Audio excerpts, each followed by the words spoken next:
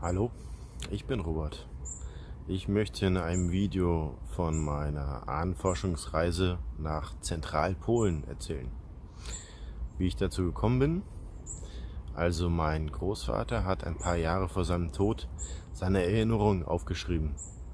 Von seiner Kindheit, von seiner Jugend, von seiner Zeit als Soldat und in der Kriegsgefangenschaft und nach seiner Rückkehr von dem Wiederaufbau.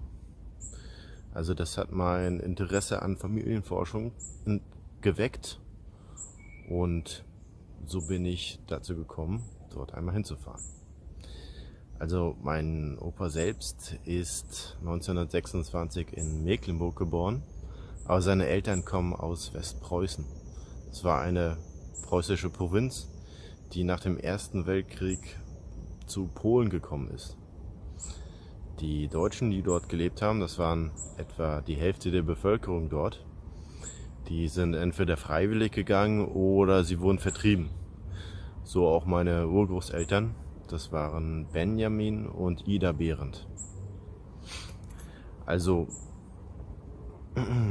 mein Opa, der hat auch schon einen Stammbaum geschrieben. Der reicht so etwa bis 1780, 1820. Ich selbst habe dann auch noch im Internet recherchiert und habe dann weitere Vorfahren gefunden und das reicht jetzt teilweise bis 1650. Und ich kenne auch die Orte, in denen meine Vorfahren gelebt haben und das war der Grund, dass ich einmal dorthin fahren wollte. Also ich habe mir schon gedacht, dass ich nicht mehr so viel Konkretes finden werde, aber ich wollte mir wenigstens einmal die Gegend anschauen und etwas Zeit nehmen, um einen Eindruck von dieser Heimat von meinen Vorfahren zu gewinnen. Das ist hier das Deutsche Kaiserreich bis 1918 und hier ist die Provinz Westpreußen mit dem Landkreis Graudenz. Dann kam der Erste Weltkrieg und die Karte sah anders aus. Graudenz und sein Umland waren nur Teil von Polen und meine Urgroßeltern sind danach vertrieben worden aus ihrer Heimat. Ab 1922 waren sie in Mecklenburg. Also das ist heute Graudenz in Kuvarien-Pommern. Meine Route war erst Danzig, dann Graudenz und dann nochmal Thorn. Hier ist nochmal Graudenz und so bin ich dann rumgefahren. Also zuerst bin ich mit dem Fernbus nach Danzig gefahren. Das war mehr ein Sightseeing-Stopp, so 100 Kilometer von meinem Ziel entfernt. Es hat die meiste Zeit geregnet und deshalb war ich viel in Museen und Kirchen, habe aber auch eine Altstadtführung mitgemacht. Wegen dem Wetter gab es da nur vier Gäste also war es fast eine Privatführung. Der Gästeführer war sehr gut. Das war ein alter Danziger. Die Altstadt ist sehr schön und man merkt überhaupt nicht, dass die Stadt im Krieg völlig zerstört wurde. Ein paar Gebäude wurden originalgetreu wieder aufgebaut, aber meistens hat man moderne Gebäude gebaut und historische Fassaden davor gesetzt. Dazu hat man dann auch noch die schönsten ausgewählt und nach Zeitepochen neu angeordnet. Die Stadt hat dadurch keinen Welterbestatus, aber es lohnt sich trotzdem dorthin zu fahren. An beiden Abenden war ich noch mit einer Gruppe Norweger unterwegs. Die hatte ich in einer Bar kennengelernt. Es waren so etwa zehn Leute und für den einen war es das Geschenk zum 30. Geburtstag. Das war Hans, der immer wieder davon erzählt hat, dass sein Onkel im Zweiten Weltkrieg gegen die Deutschen gekämpft hat. Also mit Hans habe ich mich sehr gut verstanden und in der Runde haben wir ein Bier nach dem anderen getrunken, eine Zigarette nach der anderen geraucht. Der Stadtführer hat schon davon erzählt, dass die Skandinavier die schlimmsten Touristen sind. Also ich war dann immer so zwischen 4 Uhr und 5 Uhr morgens wieder zurück im Hostel. Am dritten Tag bin ich dann bis Nachmittag in Danzig geblieben. Es war endlich auch schönes Wetter, aber die Stadt war überfüllt, weil zwei Kreuzfahrtschiffe angelegt hatten. Also Tickets hatte ich dann irgendwann auch bekommen. Es gab riesige Schlangen an den Schaltern, keine Automaten. Und ich habe meinen Zug nur bekommen, weil mich Leute vorgelassen hatten. So, zwei Stunden bin ich mit dem Regionalzug gefahren und dann bin ich in Graudenz angekommen, wo es natürlich gleich wieder geregnet hat.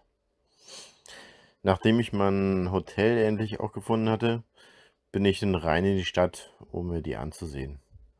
Also die Altstadt ist sehr schön. Also draußen herum sieht es nicht so toll aus, aber die Altstadt ist sehr schön.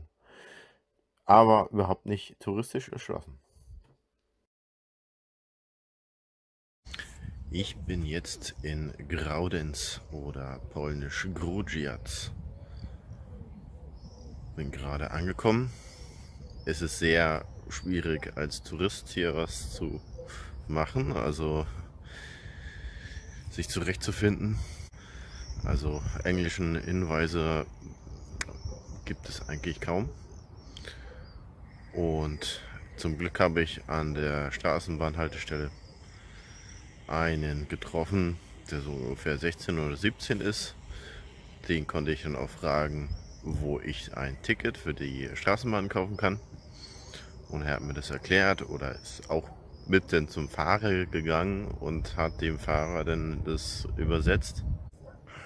Er hat gesagt, ich bin der erste Ausländer, den er in, in Grujac überhaupt trifft.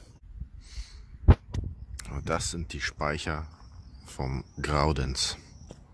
Direkt an der Weichsel. Die ist hier.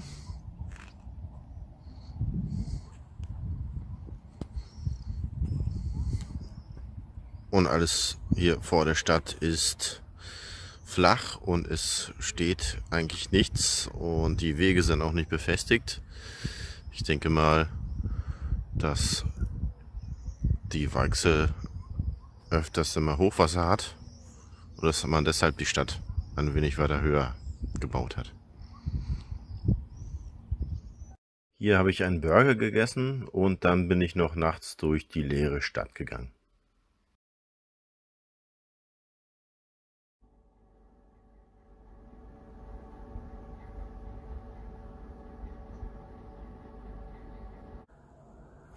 Also hier bin ich nochmal nach dem Frühstück also, okay, jetzt geht es wieder an.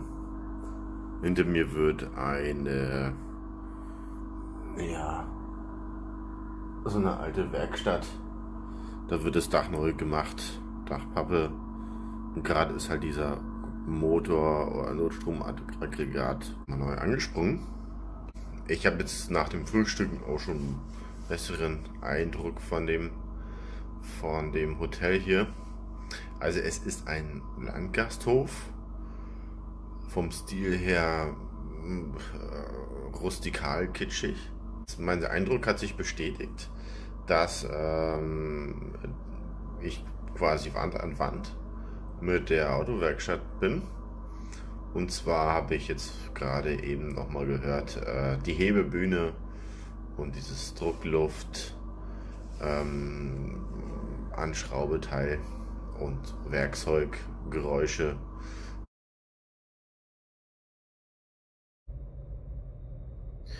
So etwa 9 Uhr habe ich den Tag dann richtig begonnen. Die Autovermietungen waren nicht zu erreichen, aber an der Rezeption habe ich dann Hilfe erhalten. Also sie hat dann eine Vermietung gefunden, die sich gemeldet hat, die auch offen war. Und die Hotelangestellte hat mich angekündigt und auch ein Taxi dorthin bestellt. Da habe ich dann für einen Tag einen roten Skoda Fabia gemietet. So, also bisher kannte ich die Gegend nur von Satellitenbildern, ein wenig von Google Street View und Fotos, aber wirklich da zu sein ist was ganz anderes. Also ich hatte mir einige Orte rausgesucht, wo ich wohl am meisten Erfolg haben würde. wichtig ist zu wissen, dass schon in der Vergangenheit die Polen katholisch und die dort lebenden Deutschen evangelisch waren. Heutzutage sind alle Einwohner in Polen, jedenfalls die Christen, Katholiken. Ich wusste also, dass ich nach ehemals evangelischen Kirchen und ehemals evangelischen Friedhofen suchen musste. Okay, also noch von meinem ersten eigentlichen Ort, den ich besuchen wollte, habe ich in Vorbeifahren ein interessantes Gebäude gesehen und sofort angehalten. Dort habe ich danach gesehen, ob es eine alte Kirche ist, mit Gräbern vielleicht. Aber es sah aus wie eine Kapelle mit einem umliegenden Park.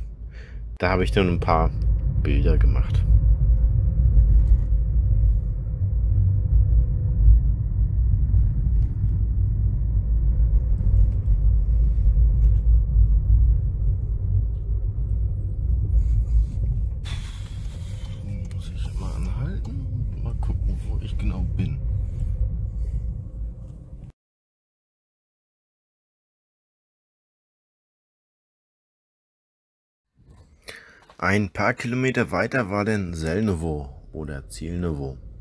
Das war der erste Ort, von dem ich wusste, dass da meine Vorfahren gelebt haben. Also hier auf der rechten Seite gibt es Storch 1 und 2.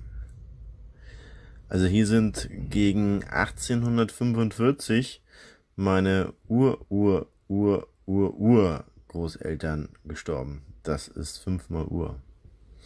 Das waren Adam und Elisabeth Zillmann oder Zellmann oder Zöllmann. Da sind die Quellen nicht ganz eindeutig. Ähm, es gibt verschiedene Schreibweisen, die man da, die man da finden kann. Ich komme ich in den Ort rein und wir haben Storch 3 und Storch 4. Also wahrscheinlich sind meine Vorfahren 18, zwischen 1800 und 1845 dort, also hier in diesem Ort gewesen. Mm, die sind jemals woanders geboren, etwa 10 Kilometer weiter. Das ist aber ein Ort, wo ich nicht hingefahren bin, denn dort wusste ich schon vorher, dass es da nur einzelne Höfe gibt. Ja, also hier bin ich erstmal nur durchgefahren und habe mich links und rechts umgeschaut so dass ich einen Eindruck bekomme von dem Ort und von diesen Orten. Hier haben wir den Storch 5 und 6.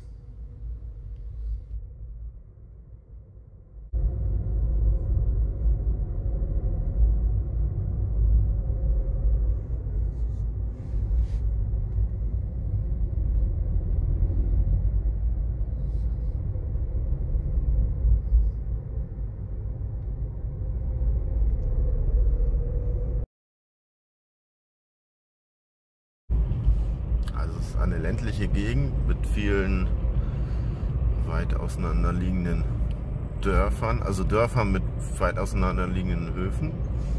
Ich komme jetzt in einen etwas größeren Ort, der wahrscheinlich auch die Kirche von einigen meiner Vorfahren war.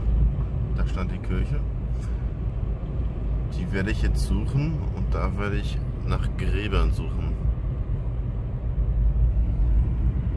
Mehr Kühe, das Ganze streut, liegen sie rum. Mhm. Das sieht schon mal interessant aus.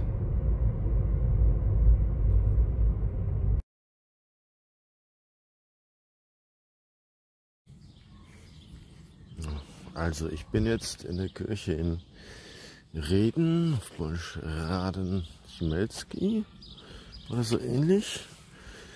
Und ich bin jetzt hier an der Kirche, die ich gleich zum Anfang gesehen habe. Ziemlich große Kirche. Die, wird wohl die Hauptkirche sein. Äh, ja, es sind anscheinend Urnengräber an der Kirche entlang. Also es sind nur so, so kleine Platten. Und die sieht sehr interessant aus, die Kirche. Na, das wird wahrscheinlich der Friedhof gewesen sein, der alte. Nur hier ist alles grün. Das heißt, wenn es hier alte Gräber gab, dann sind die eingeebnet worden. Okay. Also, ich versuche mal reinzugehen. So. Ich habe dann auf Google Maps geguckt und habe ich dann den, den, äh, den Friedhof gefunden. Zemansk. Und jetzt bin ich hier. Und mal sehen, ob ich, äh, ob das neue ist oder alter. Die Kirche sieht jedenfalls backsteinmäßig, gotisch irgendwie ziemlich alt aus.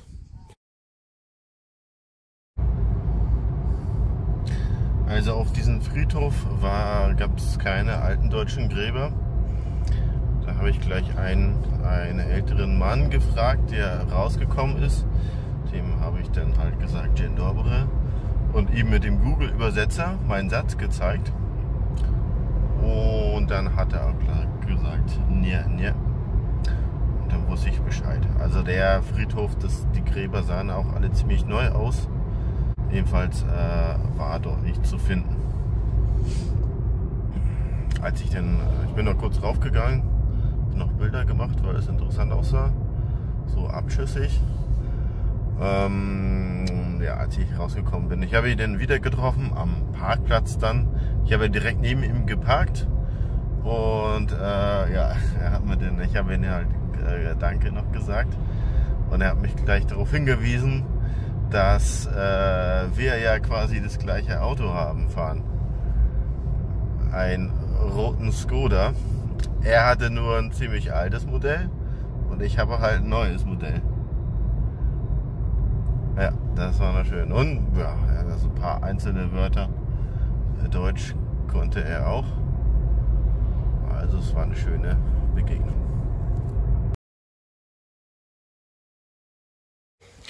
So, ich war jetzt in, bin jetzt in Rivalde. Ähm, von gleich vom Anfang habe ich eine Kirche gesehen, da bin ich rangefahren. Das ist aber eine katholische Kirche und die war wohl schon immer eine katholische Kirche. Äh, ich weiß von den Recherchen, dass bis 1903 die Kirche von Reden, die evangelische oder von Rehwald. Die evangelische war in Reden. Das heißt, ab dann wurde wohl hier eine gebaut. Ich habe sie auch entdeckt über Google Maps. Das ist eine alte verfallene Ru Ruine. Eine ähm, ja, Kirchenruine. Also die Post ist gerade, der Postmann ist gerade angekommen, hat was abgegeben, das war gut, weil dann war auch gleich eine Dame des Hauses am Fenster, die die Post entgegengenommen hat. Die konnte ich dann auffragen, ob es hier alte deutsche Gräber gab. Sie hat mir gesagt, ja, ich kann es mir angucken, aber ich darf nicht reingehen, weil es zu gefährlich ist. Da es kann sein, dass da immer was so runterfällt. Okay. Und da war ich denn. Aber drumherum gibt es keine Gräber zu sehen. Dann habe ich nochmal auf Google Maps geguckt, nach, wollte nach anderen, äh, äh, anderen Friedhöfen gucken. Dann habe ich gesehen, dass es halt Friedhof Evangelische hier in Rehwald. Das war eigentlich um die Ecke und hier bin ich jetzt. Aber irgendwie sieht das oh, nicht nach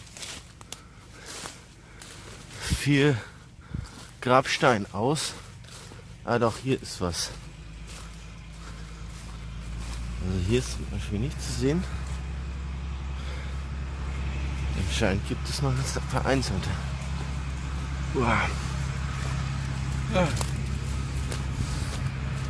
Ja gut. So sind die aus. Aber das ist nicht zu erkennen. Keine Namen. Keine Namen. Ich könnte höchstens, wenn ich recherchiere, auf das von dem, nach dem Typ ob das, keine Ahnung, ich weiß nicht, ob das Gräber sind oder irgendwas anderes. Jedenfalls steht auf Google Maps, dass es der, evangelische Friedhof ist. Auf jeden Fall wahr. Ist noch mehr? Uah. Kleines. Mm.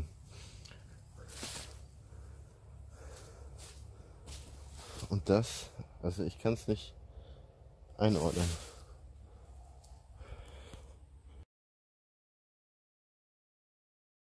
So, ich bin jetzt aus dem alten evangelischen Friedhof von Rewalde raus. Es ist einfach auch nur Ruinen. Es sind, es, man sieht, dass da Gräber sind, aber es gibt keine Grabsteine mehr. Und ist alles zugewachsen. Also da hat man nicht viel jetzt gesehen. Aber ich fahre jetzt nach Bostinovo. Das ist, glaube ich, auf Deutsch äh, König, äh, Großleistenau? Nee, nein, nein. Ja, ich weiß es nicht mehr, ich habe es gerade gesehen. Ja, also jetzt gucke ich mal rein. Ich gucke mir den Friedhof an. Vielleicht war es ja mal der evangelische. Und danach fahre ich noch weiter. Also ich habe jetzt hier ein paar Sachen, die ich jetzt abklappern werde. Also ich bin so ziemlich verschwitzt vom Friedhof jetzt, da rum zu, rum zu krabbeln. Okay.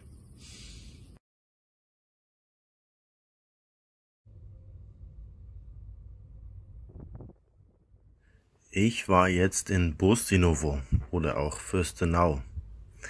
Hier war zum ersten Mal das typisch langgezogene Dorf mit den einzelnen Höfen erkennbar.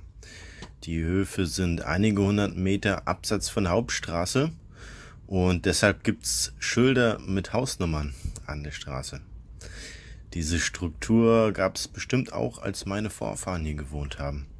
Man kann sich also vorstellen, wie es früher hier ausgesehen hat. Wo genau zum Beispiel meine Ur-Urgroßeltern gelebt haben, kann ich aber nicht mehr herausfinden. Also in diesem Ort haben die Eltern und Großeltern väterlicherseits und Urgroßeltern mütterlicherseits meiner Urgroßmutter Ida Behrendt gelebt. Klingt kompliziert, ist es auf den ersten Blick auch. Also vereinfacht gesagt wohnten hier über mehrere Generationen meine Vorfahren. Mindestens im 19. Jahrhundert. Das waren die Angers und die Ginaus. Unabhängig voneinander. Erst deren Enkel haben dann ein paar Orte weiter geheiratet. Und zwar 80 Jahre später. Also ich war hier an der Kirche und auf dem Friedhof gegenüber. Beides war aber sicher nicht sehr alt. In Bostinovo gibt es auch einen kleinen Bahnhof, ansonsten aber nichts. Ich bin noch an einen Hof gefahren, der von der Straße aus verlassen aussah, um Fotos zu machen. Am Eingang war aber jemand, der da gearbeitet hat.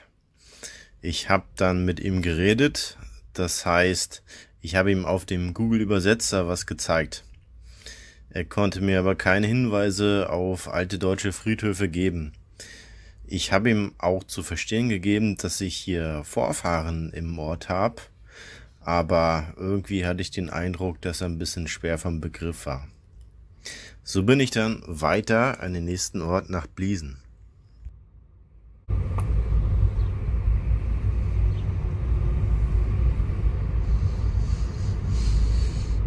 Sehen, das sieht auch sehr katholisch aus.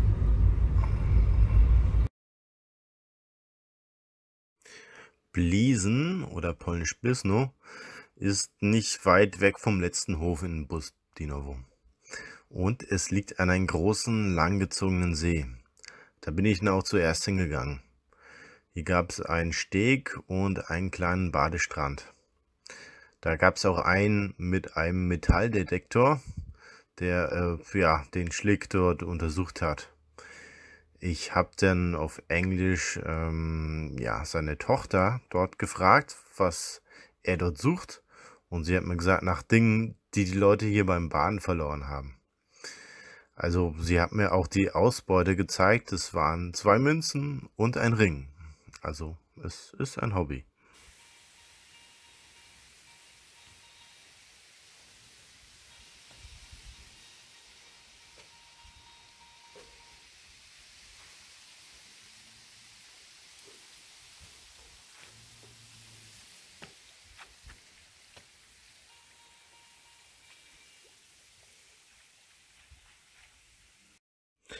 Ich bin dann zum alten Friedhof, den ich auch über Google Maps gefunden habe. Der war mitten im Ort, lag zwischen zwei Grundstücken und von der Straße aus sah es aus wie ein Gebüsch. Ich musste über einen kleinen Graben springen und dann direkt die Böschung hoch. Also anders als in Rewalde konnte ich mich hier gut bewegen und habe wieder vor allem Grabeinfassungen gefunden. Es gab aber auch, gab aber auch Gittereinfassungen. Direkt daneben war der Zaun von einem Hühnerhof. Vom Weiten habe ich dann zwei Leute gehört und auch Niemski rausgehört, also Deutsch. Die haben sich denn schon wohl schon gedacht, dass da ein Deutscher auf den Friedhof gehen will. Also ich war einige Zeit da, aber es gab keine Inschriften zu lesen. Es wäre aber interessant gewesen, denn hier in dem Ort ist um 1735, also vor fast 300 Jahren, mein Vorfahr Paul Senkball geboren. Dann auch 1776 sein Sohn Jakob Senkball und 1826 seine Tochter Caroline Senkball.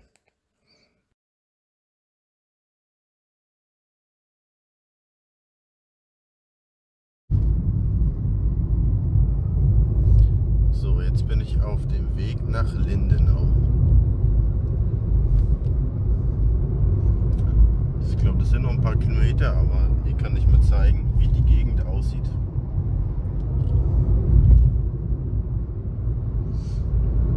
Gerade Straßen mit Alleebäumen. Viel bewachsen. Ah, hier bin ich ja schon.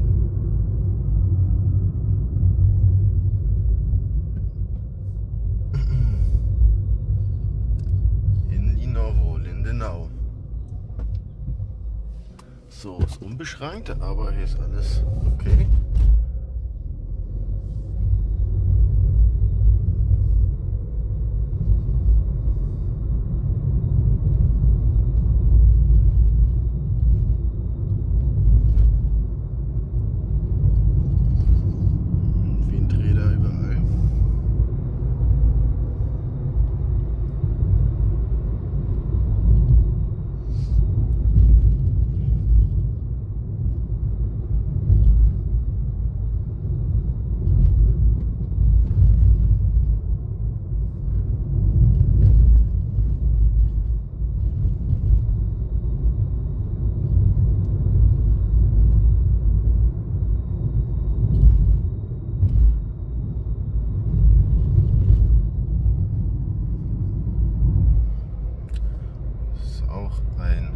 Weitläufiges, langgezogenes Dorf.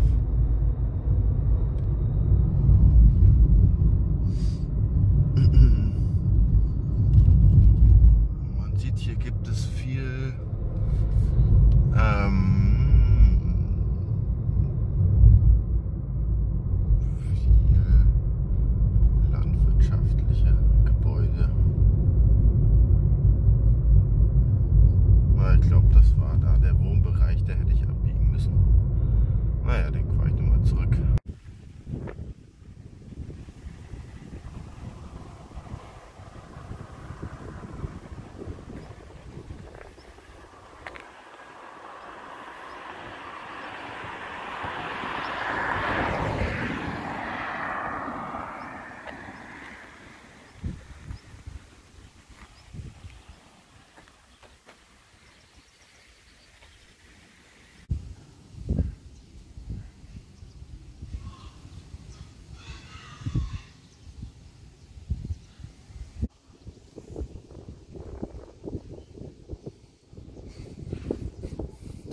ich bin jetzt hier in Lisnowo, Lindenau und es scheint so, als wenn es ein großer Hof ist.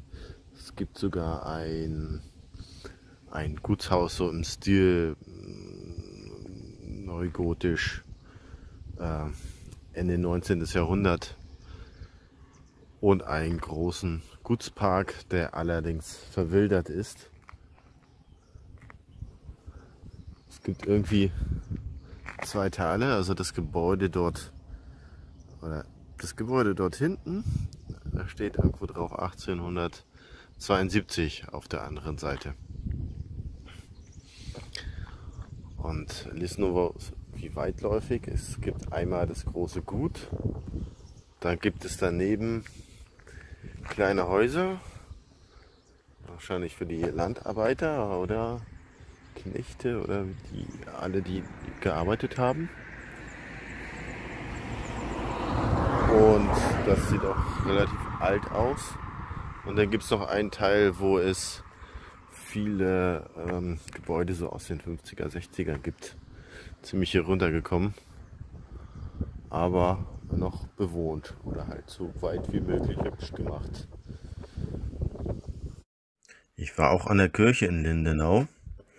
Sie ist alt, anscheinend auch die ehemalige evangelische. Es ist eine massive Feldsteinkirche. Hier sind wohl auch Benjamin und Ida Behrendt hingegangen zum Gottesdienst. Zumindest für die paar Jahre, wo sie dort gewohnt haben. Die Gräber drumherum sind alle ab den 20ern entstanden. Aber es gibt auch noch deutsche Nachnamen mit äh, Sterbedaten in den 50ern und 70ern. So, das ist Lindenau, Linovo.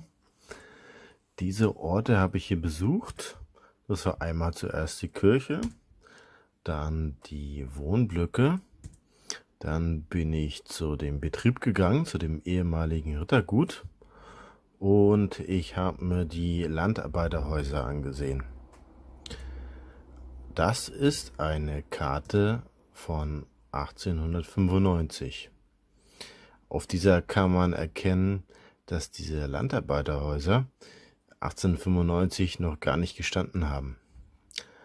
Okay, also ich habe diesen Bereich hier besucht und ich habe gar nicht mitbekommen, weil das Dorf so weitläufig ist und hügelig, man konnte gar nicht alles überblicken, dass hier oben im nördlichen Bereich ähm, dort gibt es einzelne Höfe, weit abstehend und auch ähm, ja, weiterhin Richtung Gut ähm, einige zusammenstehende Häuser. Also meine Urgroßeltern hatten ja eine Bauernwirtschaft, waren also keine Landarbeiter auf dem Gut. Deshalb denke ich, dass sie hier ihren Hof hatten in diesem Bereich im Norden.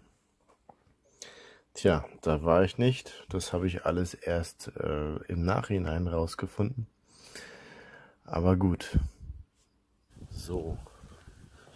Also ich war jetzt hier im Ort unterwegs und hatte noch zwei Leute angesprochen. Eine Frau um die 30. Ich habe sie gefragt, ob sie weiß, ob man irgendwie darauf kommen kann, um das Gutshaus zu anzugucken oder zu fotografieren, aber sie wusste es nicht. Und auch halt von diesen Häusern, von diesen kleinen, da konnte sie mir auch nicht sagen, wann die gebaut wurden. Ja, klar. Gehe ich auch nicht von aus. Und dann bin ich noch runtergegangen und habe äh, ein paar Leute getroffen, die die Kohle eingelagert haben im Haufen und dann reingeschippt. Ähm, ja, da war dann der Sohn, der auch so Ende 30, Anfang 40 ist. Der konnte es in Englisch. Den habe ich ihn auch gefragt. Er hat mir gesagt, dass es halt alles halt privates, private Firma ist. Ich war dann auch da, habe geklingelt an der einen Tür, dort am Eingang von dem alten Gutshaus, also von dem Gebäude, was daneben steht jetzt. Äh, das Auto, was vorhin davor gestanden hat, war weg und es hat niemand geöffnet. Naja, geht halt nicht. Uh, die Leute, die hier wohnen, scheinen halt nicht viel Beziehung noch zu dem ganzen äh, Gut hier zu haben. Nicht so wie früher. Naja, okay. Also ich fahre jetzt los, ich fahre jetzt weiter. Nach Großleistenau.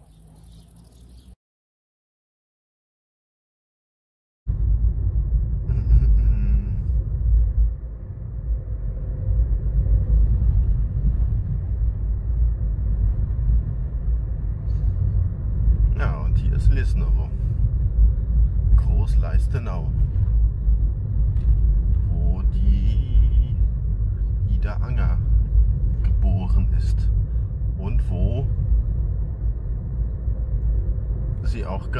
Nach 400 Metern erreichst du das Ziel. hm, Ich habe es schon erreicht.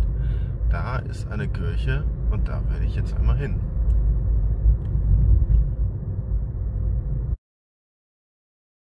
So, ich stehe jetzt hier in Großleisternau, Liesnowo, nicht weit von Lindenau Linau entfernt.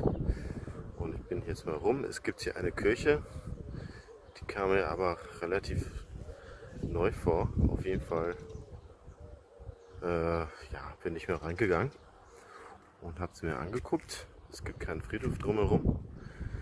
Hm, Ich habe dann jemanden gefragt, äh, gut so aus, äh, ins Blaue hinein. Der ist so für Mitte 20, schätze ich mal. Hm, Also er äh, konnte äh, ja so gut wie kein Englisch und wir haben aber mit dem Google-Übersetzer uns quasi unterhalten. Und es war sehr interessant, er wusste sehr viel und zwar an dem Standort von dieser Kirche hinter mir jetzt, quasi in der Mitte vom Ort, war bis 1930 die evangelische Kirche.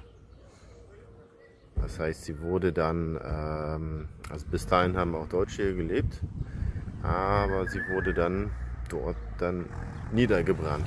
Oder verlassen oder nieder, niedergebrannt, weiß ich jetzt nicht genau. Ich habe ihn auch gefragt, wo ein äh, Friedhof ist. Und das hat er mir auch gesagt. Wo? Ist nicht weit.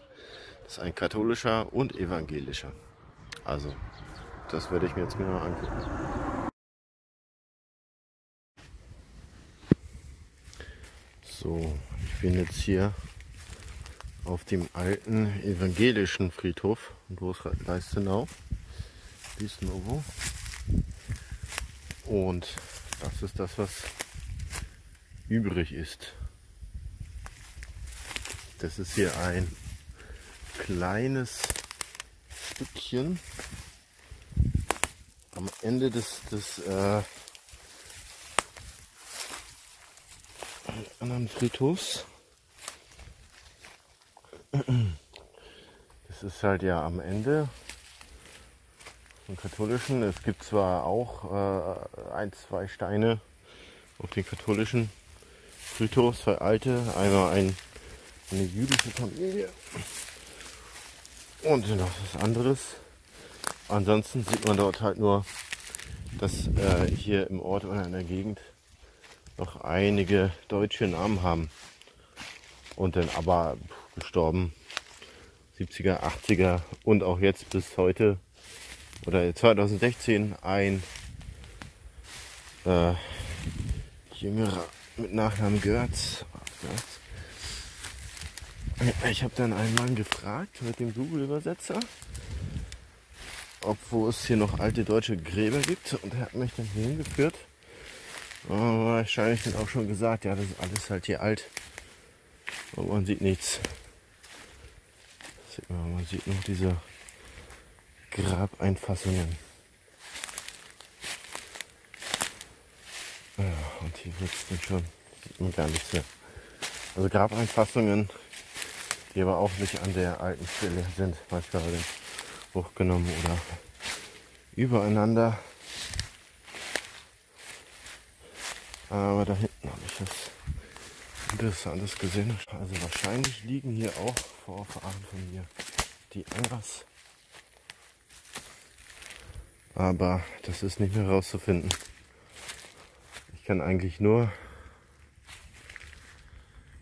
mich an den Ort halten, dass es der Ort ist, wo einige meiner Vorfahren oder Verwandte liegen unter der Erde. Aber hier gibt es noch was zu sehen. Ja, das ist das typische Bild. Einfassung, ich weiß nicht, wie das früher ausgesehen hat. Und in der Mitte wachsen Pflanzen, manchmal auch ziemlich dicke Bäume. Aber da hinten war was.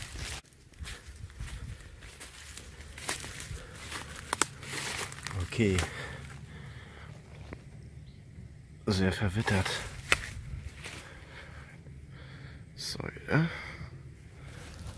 Was steht hier drauf? Charlottenburg. Emmelreise irgendwas. Wahrscheinlich da, wo der, wo diese Figur hergestellt wurde.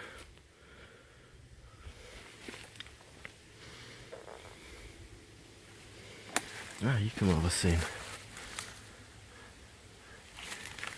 Margarete und Konrad Treichel 1888 12. Oktober Oktober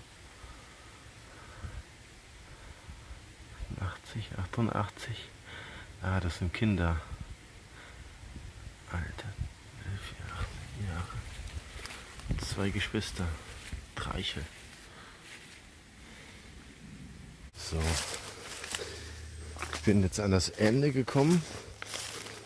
Also das ist da halt ziemlich schmal zwischen dem Weg und dem Maisfeld und ist sehr bewachsen. Also da wird nichts mehr sein.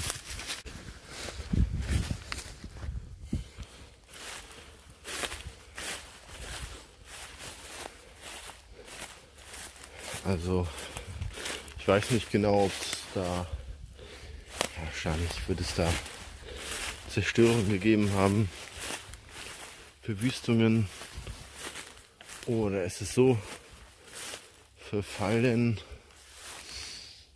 Es hat sich ja niemand darum gekümmert. Wenigstens gibt es die noch. Wahrscheinlich vom Glauben her, dass man einen alten Friedhof, auch wenn er evangelisch ist oder von den Deutschen, nicht einfach umpflügt sondern dass man die Toten dort unten ruhen lässt. Jedenfalls ist es alles verwildert, zugewachsen und über die Jahre äh, ja, verwüstet worden. Und es ist fast nichts mehr zu sehen, nur ein paar Reste. Ja, aber man kann hier noch rübergehen. Und dieser hier ist noch also relativ befreit von jetzt größeren Ästen. Also hier kann man noch durchgehen. Nicht so wie bei den anderen, die ich gesehen habe. In Blisno, Bliesen und den anderen, äh, wo war ich da? Ach so, äh, Reden. Äh, ich glaube Reden. Oder Rehfeld. Nee, jedenfalls. Das ist dann das ist mein dritter Friedhof, den ich mir ansehe.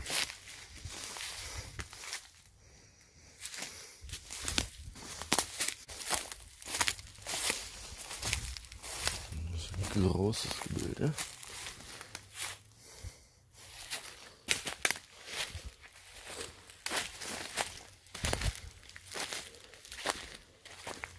Okay. Das sieht aus wie ein großes Grabmal, was in seine einzelnen Teile umgestoßen wurde. Okay.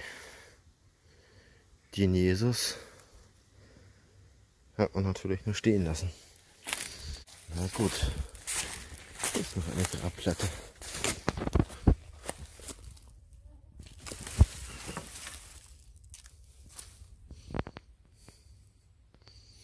Hm. Mal sehen, ob ich das irgendwie noch entziffern kann. So, was ich noch sagen wollte, äh, an zwei alten Grabumfassungen habe ich auch Grablichter gesehen. Also dann wird doch mal einer oder eine mal auch einen Gedanken hier an die Leute haben. Oder vielleicht auch Besucher hier. Und auch Vorfahren hier. Keine Ahnung. Aber was mir auf jeden Fall gerade eingefallen ist, ist, wenn man sich das ansieht und daran denkt, das hier unter Gräber sind, die Grabsteine und was oben ist außen vor gelassen, dann denke ich hier dran an einen Friedwald. Ja, die Bäume wachsen und wachsen. Und solange hier das Gelände niemand stört, ist es ein Friedwald. Naja, jedenfalls in dieser Ecke. Also hier vorne ist es wahrscheinlich, hat man die alten Gräber entfernt und dann haben die Polen bzw. Katholiken ihre Gräber hingemacht. Aber ja gut, dass Gräber ausgehoben werden, ist ja keine so außergewöhnliche Sache. Na gut, hier kommt man jedenfalls zu dem zu dem aktuellen Friedhof. So, Foto vom Palast, Palast, wie man hier zu den Gutshäusern sagt, habe ich gemacht. Und jetzt fahre ich durch Großleistenau, Lisnovo durch und weiter in den nächsten Ort.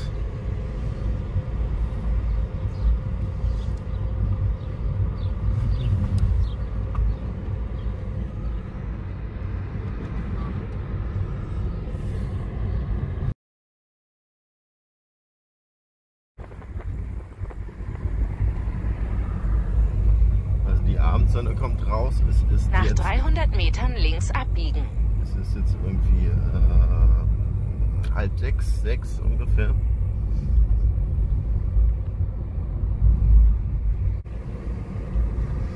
Das gehört auch alles noch zu Lisnovo. Also wieder diese kleinen Höfe. Okay, da kommt was Dickeres.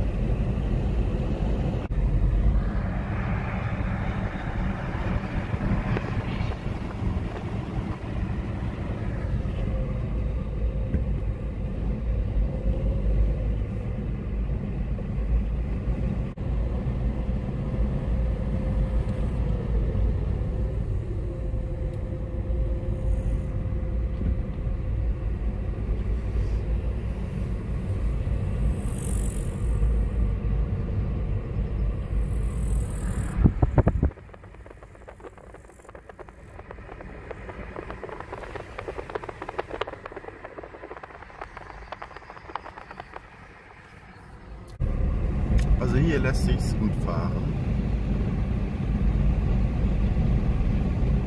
Eine schön glatte Straße. Man muss zwar ein bisschen aufpassen, weil sie nicht breit ist, aber auf jeden Fall ist sie eine von den neu gemachten.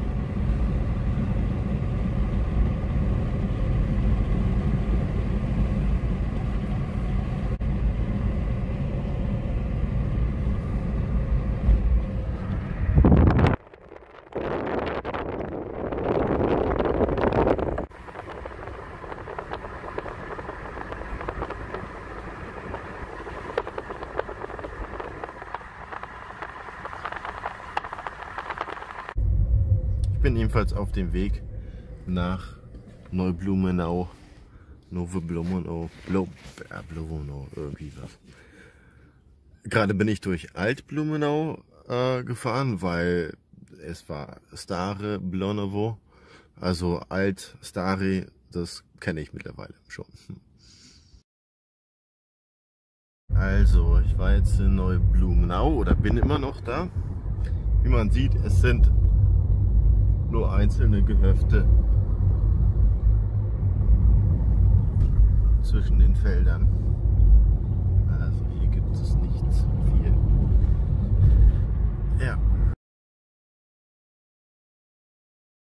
Ich bin hier auf dem Weg nach Groß-Nogat, auf Polnisch Nogat. Der Ort liegt am Nogatsee, der ist sehr groß und lang. Also in diesem Ort haben 1875 meine Ur-Urgroßeltern Gottfried Anger und Gottliebe Ginau geheiratet. Das waren die Eltern von Ida Anger. Und da ist es, Nogat. Also meine Aufgabe wird hier sein, die alte evangelische Kirche zu finden. Falls es da noch eine gibt. Also, ich war jetzt in Nogat. Ähm, es sind dann doch noch ein paar mehr Häuser, zusammenstehende Häuser gekommen. Da habe ich noch gleich jemanden getroffen. Den habe ich den gefragt. Er konnte ganz gut Englisch. Hm, er hat mir gesagt, nee, das ist halt weiß nicht, ob es halt eine Kirche gibt in dem Ort. Und mh, mm, hat halt gesagt, da, wo ich gestanden habe, das sind die Grundmauern, Reste von einem alten Gebäude. Es ist keine Kirche, sieht nicht wie eine Kirche aus, sondern eher so wie ein, wie ein Gutshaus. Er kennt sich nicht so gut aus mit der Geschichte von Nugat, weil er da nur ein Wochenendhaus hat. Naja, aber er hatte mir gesagt, in Sembruck gibt es eine Kirche, und vielleicht ist das ja die, dass die dann mal die evangelische war und dann zur katholischen wurde. Also, ich bin jetzt hier in dem Ort, habe jetzt kurz angehalten, bin reingefahren, bin in so eine kleine Seitenstraße, habe auf die Karte geguckt und durch Zufall ist es auch die Straße, die zur Kirche führt. Und hier ist sie jetzt auch schon. Okay.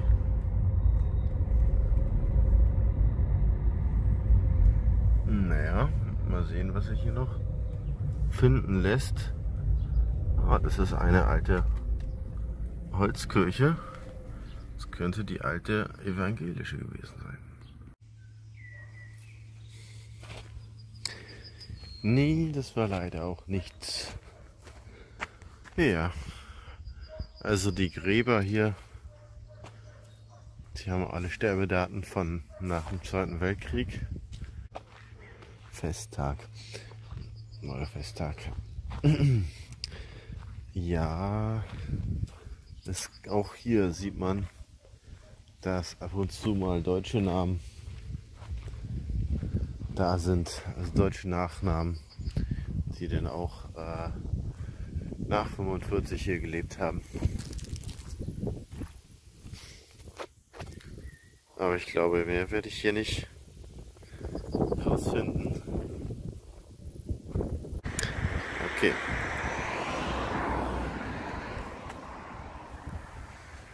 Auf zur letzten Station.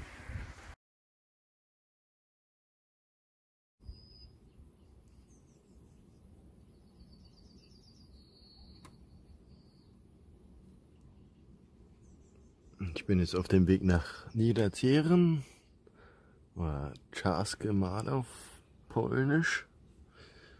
Und ja, jetzt haben wir Sandweg. Okay, ich habe jetzt hier nach Navi das Ziel erreicht, aber es sind nur einzelne Höfe.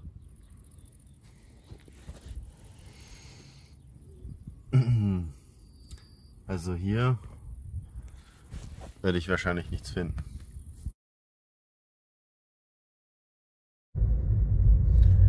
So.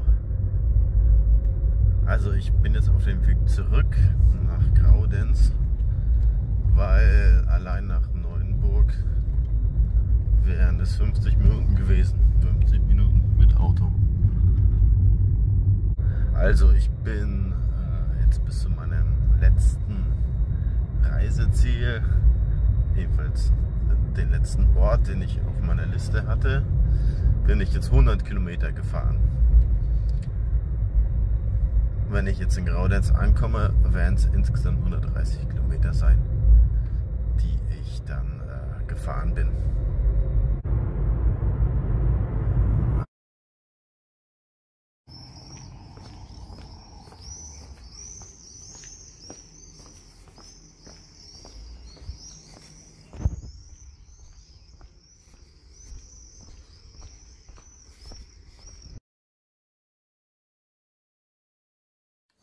Am nächsten Tag habe ich dann das Auto abgegeben und bin nach Thorn gefahren.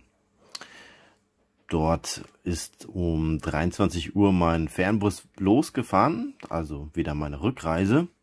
Ich hatte also Zeit, mir die Stadt anzusehen. Das ist, die hat eine sehr schöne mittelalterliche Altstadt, ist auch sehr gut erhalten und Thorn hat deshalb einen Welterbestatus. Also es ist sehr schön gemacht und fand ich wunderbar. Hier kann man auch sehen, was in mittelalterlichen Altstädten öfters mal passiert. Und das sind kleine Figuren, die ab und zu mal da waren und die mittelalterlichen Bewohner von Toren darstellen. Piroggen habe ich gegessen und das war hier am Abend.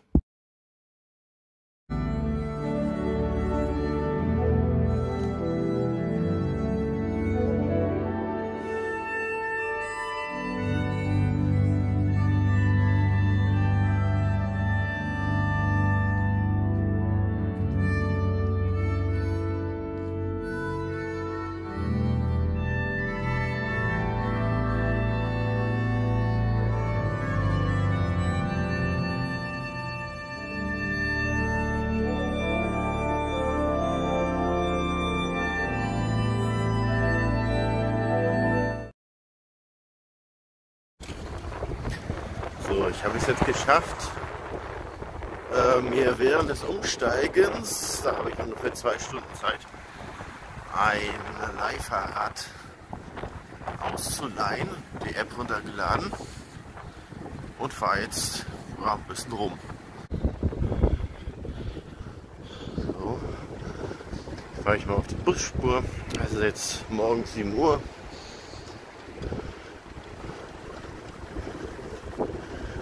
gerade einfach fröhlich drauf los.